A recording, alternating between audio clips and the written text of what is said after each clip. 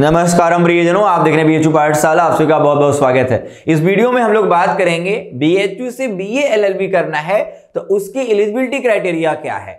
कौन कौन से सेक्शन सीयूटी के हैं जो आपके बी एलएलबी कोर्स में पूछे जाएँगे? साथ ही साथ हम लोग जानेंगे कि नंबर ऑफ़ क्वेश्चंस कितने हैं और कितने मार्क्स के एक क्वेश्चन होंगे और टोटल कितने मार्क्स का एक पेपर होगा।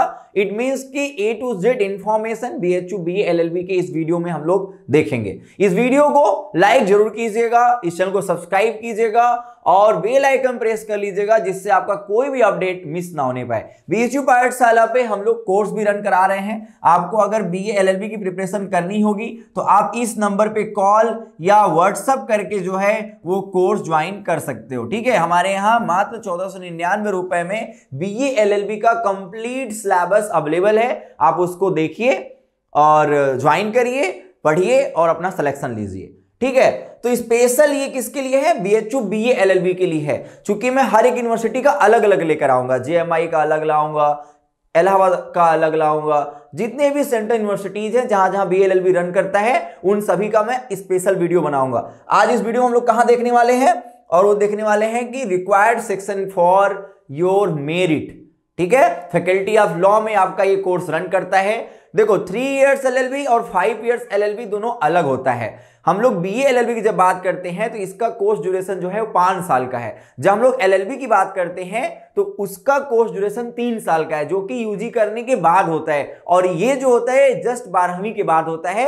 इसके लिए आपके पास बारहवीं में कोई स्पेसिफिक सब्जेक्ट की ज़रूरत नहीं पड़ती है। आप ह्यूमैनिटीज से आओ कॉमर्स से आओ मैथ से आओ बायो से आओ बोथ से आओ कंप्यूटर साइंस से आओ फ़िज़िकल एजुकेशन से आओ, किसी भी स्ट्रीम से आओ, लगभग यहाँ पे स्किल एलिजिबिलिटी क्राइटेरिया जो है वो फुलफिल हो जाती है। तो इस फॉर्म को हर कोई डाल सकता है। लॉ में अच्छा करियर बना सकता है, क्योंकि अभी लॉ में बहुत अच्छा अपॉर्चुनिटी है और बहुत सारे बच्चे जो हैं वो इस समय ट्राई कर रहे हैं एज अ क्लैट या किसी पर्टिकुलर यूनिवर्सिटी के उस कोर्स के लिए, ठीक है?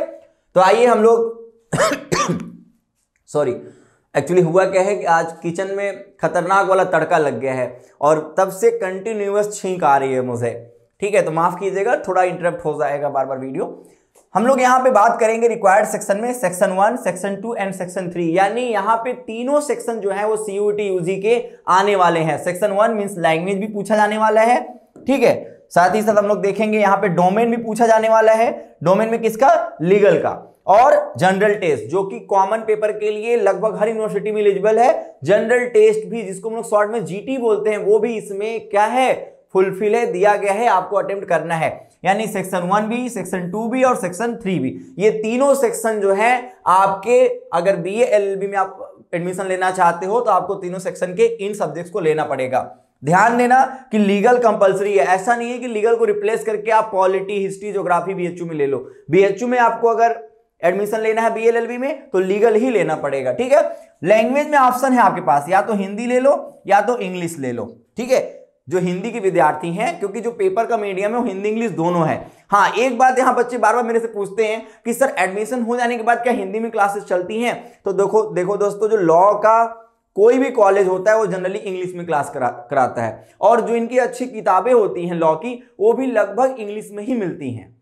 तो ऐसे में कोशिश कीजिएगा कि एडमिशन भले आप हिंदी मीडियम से ले लेना, लेकिन धीरे धीरे इंग्लिश की कोशिश करना। हमारे यहाँ जो लोग कोर्स ज्वाइन करेंगे, उनको हम लोग बोथ लैंग्वेज में कोर्स देते हैं। साथ में नोट्स भी देते हैं हैंड रिटेन नोट्स देते हैं। समझ रहे हो? लीगल का पूरा एक कोम्बो पैक ला रहे हैं, जिसमें पूरा डोमेन कवर करने वाले हैं हम लोग।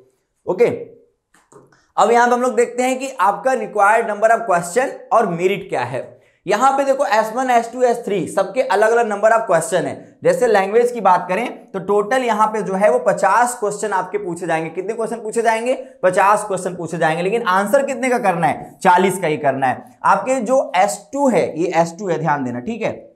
ये S2 है सेक्शन टू जिसको डोमेन बोलते हैं। इसमें पचास का भी आएगा सेट और चालीस का भी सेट आएगा। जैसे जो साइंस के बच्चे हैं, उनके लिए लगभग पचास का सेट आने वाला है। कुछ कुछ में ऐसा है कि चालीस का ही सेट आएगा। आपके लिए जो भी सेट आएगा, उसमें से पाँच कम काउंट करना है। सपोज़ अगर चालीस का सेट आता है तो 35 क्वेश्चन का आंसर देना पड़ेगा। 50 का सेट आता है तो 45 का आपको आंसर देना पड़ेगा। जीटी की बात करें यानी एस की बात करें जनरल टेस्ट तो वहाँ पे आपके 60 क्वेश्चन पूछे जाएँगे, जिसमें आपको आंसर कितने करना है?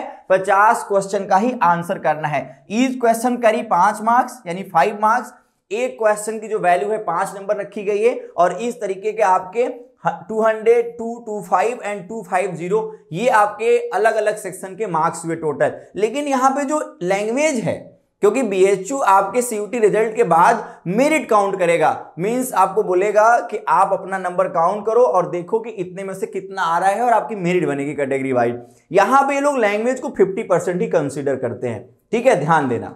अब 50 परसेंट कंसिडर मतलब क्या होता है? मैं आपको अच्छे समझा देता हूँ. मीन्स कि एक लड़का इसमें से पाता है 180 कितना पाता है? 180 अब इस 180 का वो लोग 90 मार्क्स ही काउंट करेंगे। ऐसा इनका एक क्या है? एक आ, रूल है। लेकिन ये रूल मे बी की चेंज भी हो सकता है। मीन्स ऐसा नहीं है कि चेंज नहीं होगा। लेकिन फिर भी हमारे मेरा एक आइडिया है आपके लिए। वो ये है कि आप लोग सेक्शन टू और सेक्शन थ्री पे बढ़िया मजबूती से काम करना। देखो लीगल का मेरा ग्राउंड रिपोर्टिंग में एक रिव्यू रहा है। मैंने जो वहाँ पे रिपोर्टिंग करी थी, बच्चों का कहना था कि लीगल बहुत इजी आता है। लैंग्वेज में कोई दम नहीं है। जो है वो जीटी में ही आपके पसीने छोड़ने वाले। तो ऐसे में सेक्शन टू और सेक्शन थ्री को अच्छे से पढ़िए आप। अगर लैंग्वेज ये लोग 50 परसेंट कर भी देते हैं, जिससे कि आप यहाँ पे बढ़िया स्कोर कर सको। बाकी अगर ये पूरा 100 परसेंट लेते हैं तो कोई बात ही नहीं है। तो आप लोग कंफ्यूज मत होना, ये मत सोचना कि हमने 50 परसेंट बोला तो 50 परसेंट ही कंसिडर करेंगे। मे भी 100 परसेंट कंसिडर कर ले। बस मैं आपके लिए बता दे रहा हूँ कि डोमेन और जीटी पे पूरा फोकस करना लैंग्वेज ऐसे भी नॉर्मल आता है, उसको आराम से कवर कर लोगे, ठीक है? तो आप बाकी कमेंट करना, कोई प्रॉब्लम होता है तो मैं उस पर वीडियो बना दूँगा। बीएचयू पाठशाला देखते रहे मिशन 23 चल रहा है ये। मैं आपको बता दूँ कि बीएचयू पाठशाला पे 100 वीडियोस फॉर योर 100 के यानी बीएचयू पाठशाला की फैमिली को 100 के ले जाना है। जो भी इस वीडियो को देख रहे हैं सब्सक्राइब ज़रूर कीजिएगा, क्योंकि इससे बेस्ट चैनल आपको नहीं मिलेगा। ऑफिशियल अपडेट्स यहाँ पे जब कटाव स्टार्ट होगा काउंसलिंग स्टार्ट होगा तो पूरी भरमान हो जाएगी। वीडियोज़ की आपको कहीं नहीं मिलेगा ऐसे वीडियो साथ ही साथ आपके एक कमेंट्स को मैं पिक आउट करता हूँ। आपको प्रॉब्लम है, आप कमेंट करो, उस पर आपको दूसरे दिन वीडियो मिल जाएगा। सो प्लीज़ चैनल को सब्सक्राइब करें वीडियो को लाइक करें और बेल आइकन ज़रूर प्रेस करें, मुस्कुराते रहें। बहुत सारी शुभकामनाएँ, हर हर महादेव। हाँ कोर्स ज्वाइन करने के लिए डिस्क्रिप्शन में एक नंबर है, उस पर कॉल करके आप कोर्स ज्वाइन कर सकते हो, ठीक है? Okay bye bye